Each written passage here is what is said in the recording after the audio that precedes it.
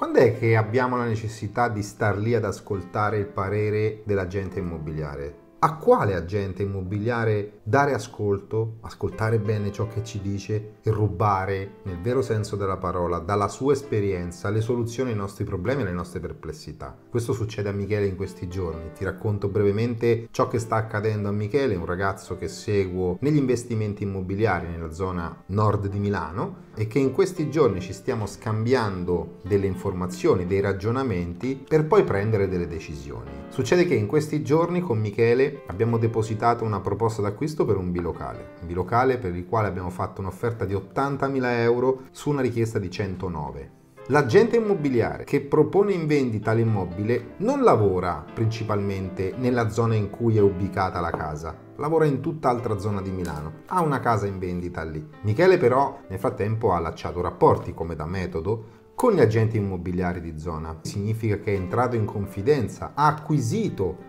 lavorando, abbiamo fatto insieme molti incontri con gli agenti immobiliari personalmente e infatti ha acquisito quella che è la fiducia quale investitore immobiliare degli agenti immobiliari di zona. Quindi riesce con tutta tranquillità ad entrare in agenzia immobiliare ed uscire fuori con le informazioni che gli necessitano. Questo per Michele non è un problema. Il rapporto che volevamo creare con gli agenti immobiliari è stato creato. Succede questo, che l'immobile può essere trasformato in trilocale, quindi da bilocale a trilocale. Questo può permettere a Michele di eventualmente aumentare la sua proposta d'acquisto nel momento in cui se la dovesse vedere rifiutata. E quindi iniziamo a raccogliere informazioni in merito alla rivendibilità del trilocale e quindi il lavoro adesso è entrare in possesso di informazioni certe e documentate di cosa sta accadendo adesso in quella zona con i trilocali. Succede questo, che l'agente immobiliare che propone a Michele l'acquisto del bilocale per il quale è stata fatta proposta d'acquisto, dice a Michele sì, effettivamente se tu riuscissi a trasformare quell'appartamento da bilo a trilocale, ovvio che tu avrai tutt'altre prospettive di rivendita.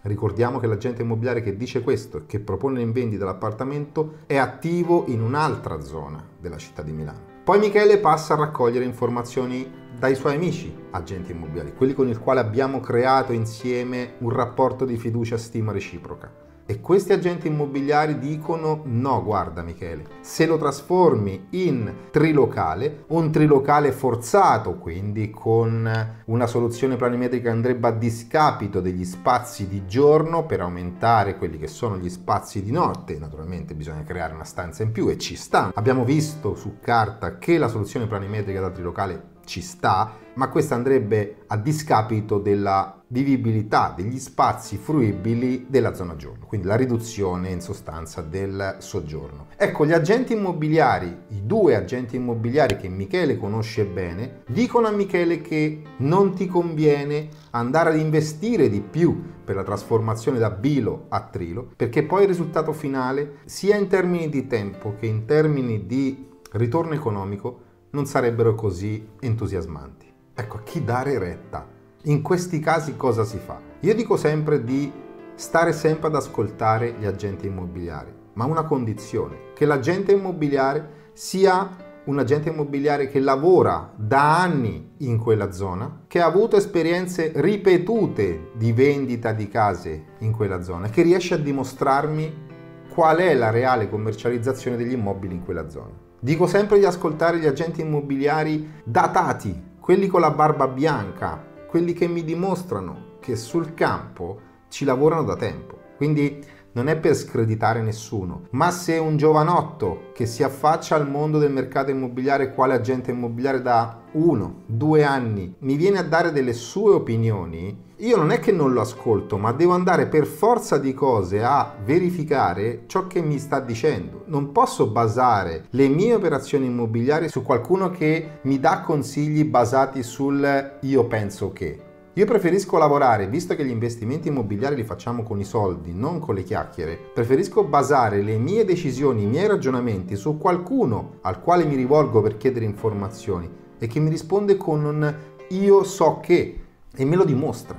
Questo video non è per dirti quale dei tre agenti immobiliari abbiamo ascoltato, perché abbiamo ascoltato due campane completamente differenti. Non abbiamo ancora preso la decisione. Adesso stiamo chiedendo riscontro agli agenti immobiliari stiamo chiedendo riscontro sul perché. Cioè, mi dici questo, ok, e ti ringrazio, ma perché mi dici questo? Perché probabilmente potrebbe essere che il target di riferimento, visto che l'immobile una volta messo in vendita da bilocale sarà un immobile a mettere in vendita a 120, mentre da trilocale sarà da 150, 145. E potrebbe essere che noi non abbiamo informazioni certe sul target di persone che riesce ad acquistare in tempi brevi, senza alcun problema, case in quella zona. Se il target di riferimento che si rivolge all'agenzia che cerca una casa, e lo vedono dalle richieste, lo vedono dalle transazioni, dalle compravendite che stanno facendo in questi giorni, in questi mesi,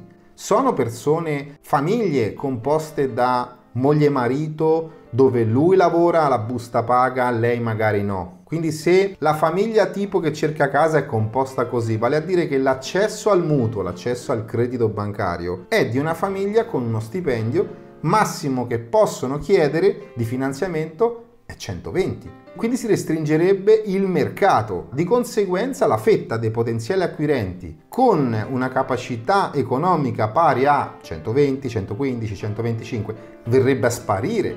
Non possiamo più rivolgerci a quel tipo di target. E magari gli agenti immobiliari di quella zona, che lavorano da anni in quella zona, lo sanno che in quella zona ruotano persone di questo tipo, famiglie corrispondenti a questo tipo di target. E magari l'agente immobiliare che si ritrova l'incarico di vendita di un bilocale in quella zona, abituato a lavorare su un'altra zona della città, potrebbe non avere questo tipo di informazioni in merito al mercato. Ricordiamo il mercato fatto di persone. E quindi potrebbe non essere un consiglio da cogliere, però questo bisogna accertarlo. Come si fa ad accertare se l'agente immobiliare ci sta dando opinioni o informazioni su ciò che sa e non ciò che pensa, con il riscontro. Quindi ci si siede con gli agenti immobiliari, quelli a quali ci rivolgiamo per avere le informazioni e bisogna andare oltre sull'informazione che ti viene data. Una volta che ti danno un'informazione, sì Michele, trasforma questo immobile da bilocale a trilocale, perché sicuramente lo andremo a vendere, a proporre non più nella fascia di prezzo da 120-115, ma nella fascia superiore. Immobili in vendita a 145 150. Ok, caro agente immobiliare, mi dimostri qual è l'andamento, quali sono le transazioni chiuse negli ultimi tempi per case che sono state vendute su quella fascia di prezzo. Posso vedere quanto tempo sono state sul mercato, da quando hai inserito l'annuncio a quando hai ricevuto la prima proposta d'acquisto utile, quanto tempo è passato, chi erano queste persone, quante proposte d'acquisto vincolate al mutuo poi non hanno avuto alcun seguito? Stessa domanda in questi giorni faremo agli agenti immobiliari che ci dicono invece no Michele, non trasformare l'immobile da bilocale a trilocale.